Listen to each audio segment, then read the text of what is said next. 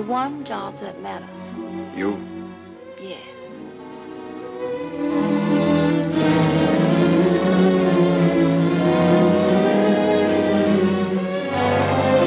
You hated me ever since since Peter.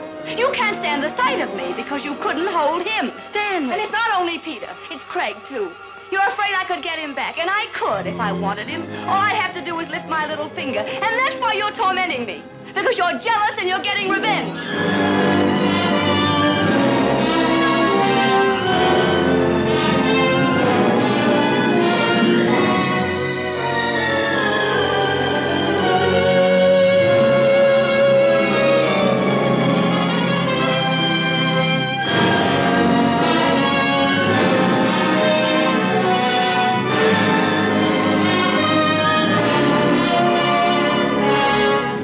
Never gotten over me, and you never will. You'd like to put your arms around me right now, wouldn't you? You'd like to kiss me, wouldn't you? That's the truth, isn't it?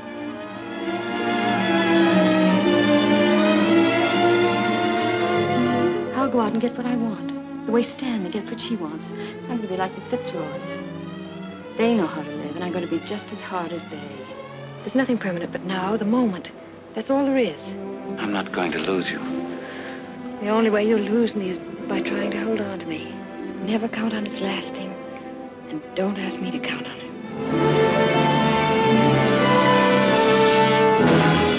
Keep away from me. I hate you. I hate everything about you. You and your righteous airs. Why don't you go back to Roy where you belong? She's just fool enough to have you.